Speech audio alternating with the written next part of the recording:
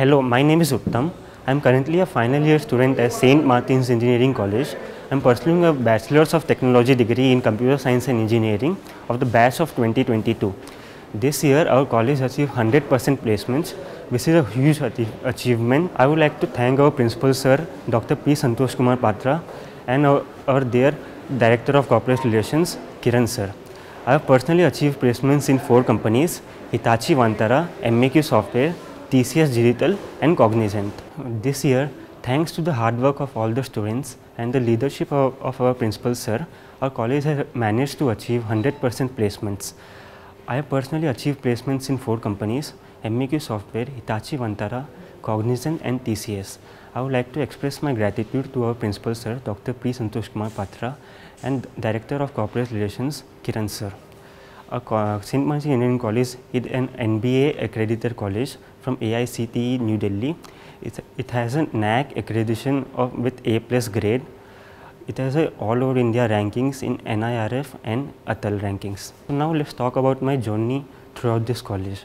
I remember four years ago when I came for the admission to this college, I was casually taking a walk around the college. I was looking at the galleries. I was seeing the achievements of students in placements, academics, sports, clubs and other cultural activities.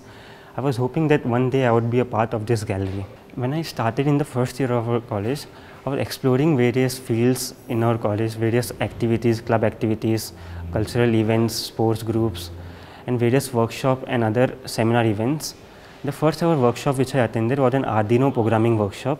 It was my first experience in an advanced technology and it was conducted by our college seniors and they provided a really good uh, clear explanation of how the advanced technology works. I was really fascinated by all of this.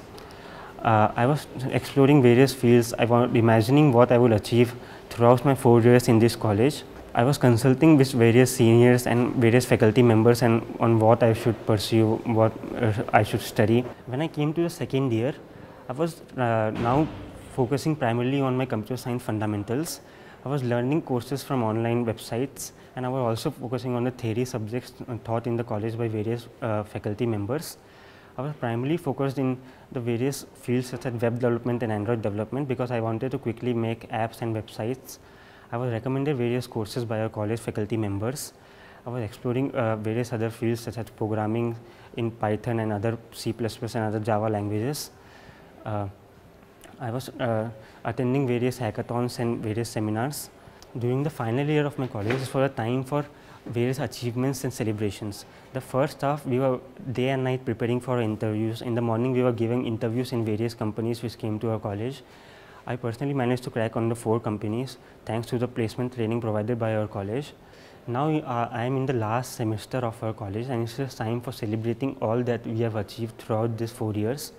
I am celebrating the various placements which I have achieved. I am currently doing internship in Hitachi Vantara and I am looking forward to uh, all else that which I am planning to learn thanks to the various opportunities that the college has provided uh, the suggestion which I would like to leave for my juniors is to stay curious, to explore various things, to, to take help from the faculty and seniors in our college and uh, lastly stay dedicated to their goals. Thank you.